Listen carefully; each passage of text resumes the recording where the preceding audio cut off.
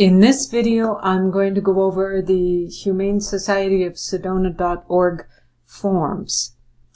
So we're going to log in.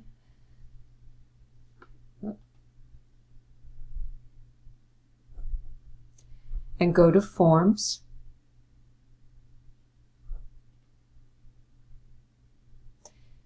These are all the forms that are currently active or available on the website.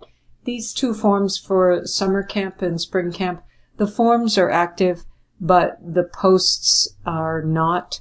So, so no one can access the forms right now. So just letting you know that. Um, but, so to go into a form to edit it, just go to the form and click edit. And so this being the, the gala sponsor form, let's say next year you might need to change the the levels of the sponsors or you may need to change the amounts. And if you wanted to do that, all you need to do is click the down arrow in this little section. And then you can change any of the text in here that you need to change. You can change the prices over here. You can subtract, like if you if I were to click this, it would delete the Chihuahua sponsor. If I click the plus, it's going to create another category. So there'll be a, a blank field that would show up underneath this that if, if you wanted to add another level of donor. Um, important, if, if required is checked, leave it checked. If you don't do that, then it will not be a required field that people, um, that you want people to fill out. So you want to keep, keep those fields required um, unless for some reason you decide you don't want them required. Um, and that's essentially how to change a form. I'm not going to go over too much in how to um, create a form. I can do that at another point if you if you need me to. But for now, I do want to show you the confirmation section. And right now, what's coming up uh, for this form is a default it's just called default confirmation, but it's coming up with this message. Thank you for sponsoring the Humane Society of Sedona 2018 Pet Lovers Gala. So um, if you wanted to change that text, we could definitely change it in here. Uh, otherwise, other settings to know about. The notifications, this is uh, who is receiving the email. And this is the email submission from the form. And so I just called this notification Austin Gates HHS director. Um, but the people getting the form submissions are Austin Gates and uh, also um, uh, M. Johnson Mar- Margie. Yes, Margie. Anyway, um, so that's just to show you um, where those submissions are set up.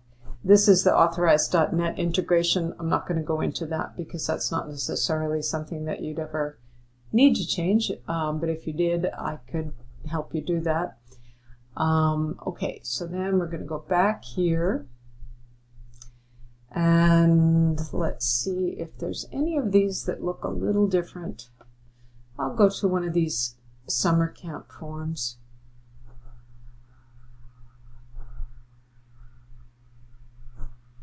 Again, any of these sections that need to be edited, just click on that little down arrow. It will open up that section and you could change any of this text if you ever needed it changed.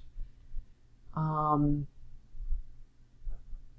so that's true of any, any one of these sections. When you roll over them, you'll see that they each have a down arrow to choose, uh, to, to click on so that you can edit. And I believe that is all that I need to show you there. So, um, again, I'm not going to go over too much about building. I'm actually not going to go over building a form at all right now. Um, this is just basically how to get into the forms and edit them.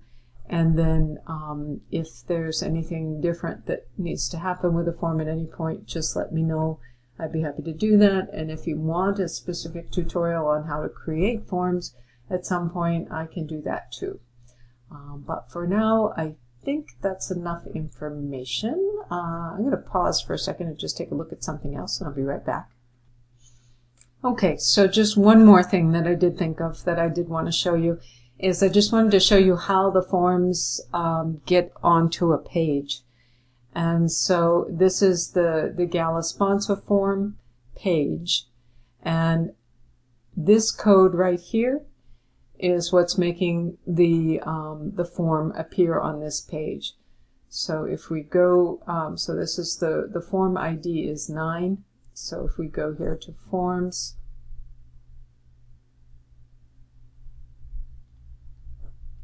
you see the gala sponsor form, the ID is 9. And so that's just um, so that you can have an idea of um, how those forms are activated on pages.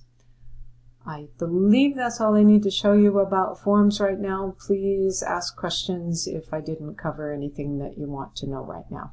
Thanks.